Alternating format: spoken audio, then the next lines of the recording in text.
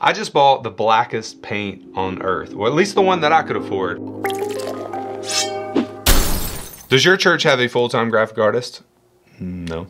Most churches don't even have a part-time graphic artist, and most churches don't even need one with resources like churchmotiongraphics.com. No matter what you're trying to create, whether it's an advertisement, sermon series art, social media posts, maybe you're just trying to find a really cool background for lyrics, you just search and find the one that you like. You can customize it to your specific needs. It's that easy, download it, put it on ProPresenter, done. Again, they have thousands of motion backgrounds, sermon and announcement templates, social media graphics, and so much more. And if you enter the coupon code WLH at checkout, you'll get $15 off your yearly premium subscription. It's seriously like having a full-time graphic artist anytime you need them. Remember, that's churchmotiongraphics.com. Back to the video. Now I bought this so that way I could paint sections or parts of our stage design that we don't want to be seen. Right now, those parts of the stage design are painted with this black paint.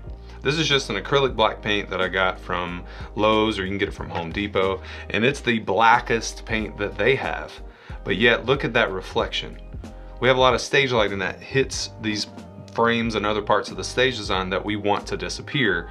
And so this is where Musou Black acrylic paint comes in because it absorbs 99.4% of light. Look at this. That's incredible. I painted the inside of a box. It used to be white. That is amazing. You could see it just, it absorbs so much light. And of course, of course, I did not paint half of a piece of fruit just to show you how black this is. See? Well, I guess I did. it's it's crazy. It just it's nuts. Look at that.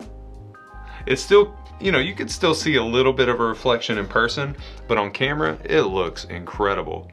And then where we're gonna use it on our stage, I think it's gonna look amazing. You're, you're not gonna be able to see those frames holding up those LED strips.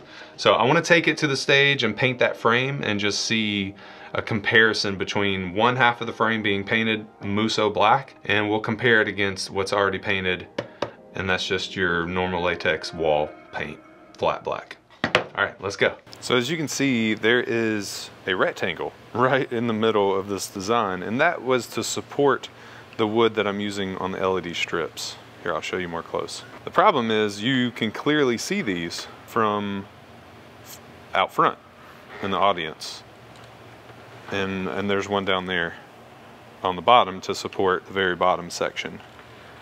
Now this piece of wood here is stained, so I'm not painting that, at least not right now. And the reason why you can see this so well is because the stage lights are on. If those were off, then you wouldn't be able to see it as much, but how often do we have those off?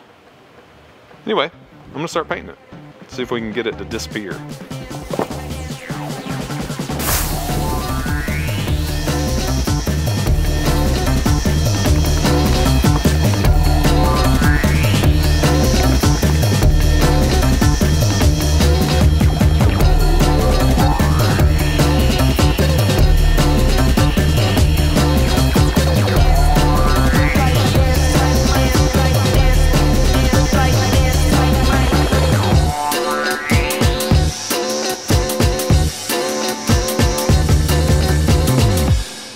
Wow, you can already tell the difference. So all I have on is the stage lighting and I can see really clearly. The right side is not painted. The left side just looks like it's not there at all. That's absolutely amazing. And I don't even think it's fully dry yet. That is so cool. In person, it looks even better. Wow.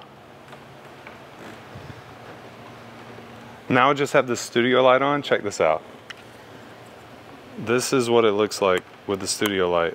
This is incredible. Yeah, when I bump the ISO up, you can still see it big time, but in person, man, it looks so good.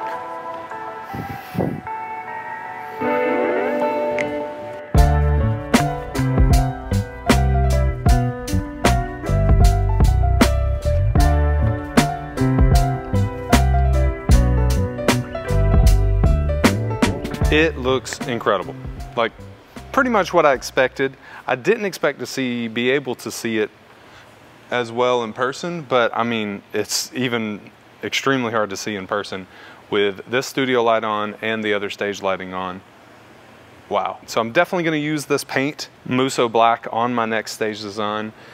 I would, I would probably recommend whatever you are painting black, would like something like this, is go ahead and paint it with the, uh, the wall paint, the paint that you can get from Lowe's or Home Depot or wherever you get paint, because that'll give it a good base. And then you put this on top and you don't have to use as much of this if the wood tries to soak some of it in. We have these lights that we want to suspend from conduit, basically, something like that. And I want the conduit, I want any infrastructure that is holding the design itself to just disappear and go away. And I think this is gonna actually do the trick. So you can get this online. I have it in uh, a link below. You can go to the, I believe it's theblackmarket.com or something like that. Anyway, I have it linked below. You can check that out. You can also get samples of it on Amazon. I have that link below as well, so go check that out.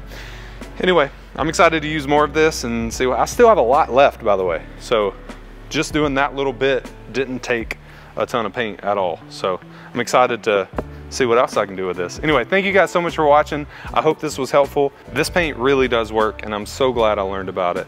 Because you know, as we say here, great worship leaders are always learning. I'll see you guys next time. Got another video coming soon, so subscribe. Bye. It looks like it washes out pretty well, so no worries there. Oh my gosh. They're gonna hate me. Some of this other paint's not for me at all. Saying.